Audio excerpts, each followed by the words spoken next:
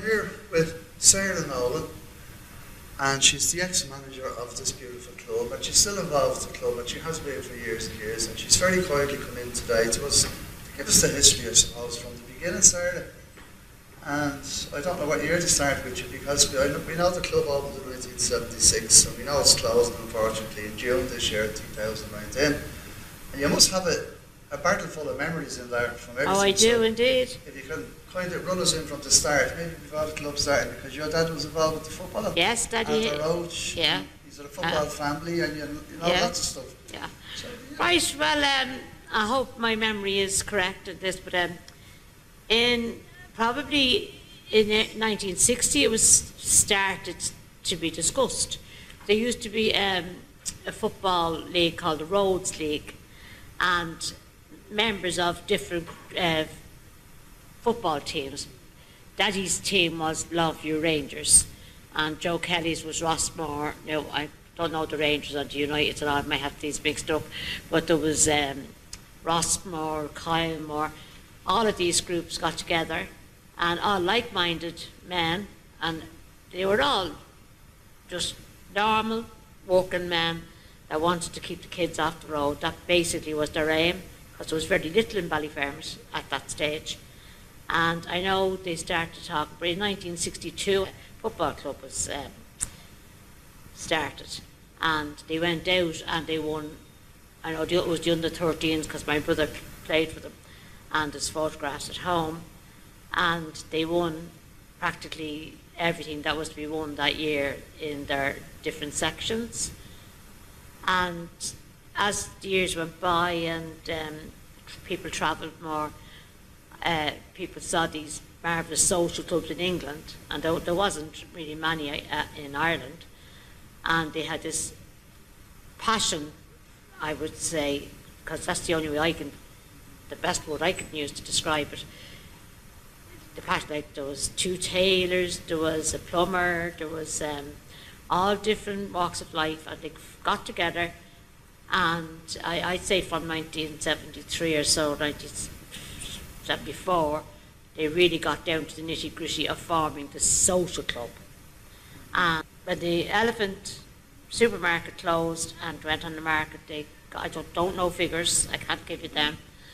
They They purchased it. they purchased it anyway for whatever it was, and we opened on the fourth of Friday the fourth of June in 1976. Wow. That's 43 years ago, Sarah. Just 43 years, yeah. God, that's amazing. Real family place, Sarah. It's a place where you can come to and feel comfort, and everyone knows each other, and we're all protected. It's a, it's just a magic place. Someone say that a lot of love stories began in the club.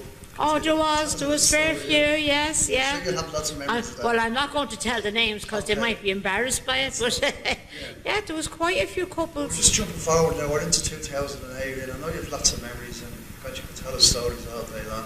And your dad was a great, uh, he was one of the main men for starting this club as well with the football, wasn't he, in the early He was, yeah, with Arthur Roach With Arthur, and Joe yeah. Kelly.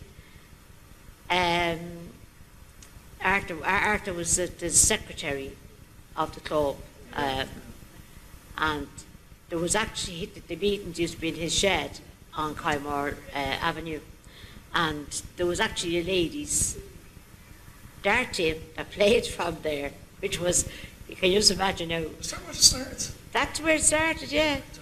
And that was one of the, the, the recognised sections of the, the original, yeah. Was there, of course, we all know that the ladies that Lily Jackson was used to be Oh, Lily Jackson was a scream. Was a- yeah, and yeah. she was a great- Greta O'Connor, um, Yeah. Annie Craig. No, Annie Craig is still with us. Uh, unfortunately, she's in hospital at the moment, but she comes here every Friday morning every Monday night. Right. So as we're going through it, I know we had loads of you've had loads of you've had loads loads of um, guest artists here over the year, people that would be very famous like Finbar Furey and you had Oh, Joe yeah. Dolan. Tell Yeah. me about Joe Dolan's night he came. Oh, Joe Dolan, oh my God, they were queued outside and the place was packed. That was a brilliant night. Dickie Rock was here. Um, Tony Christie was Tony Christie. Yeah, showed me the way to Amarillo. Yeah, he was here.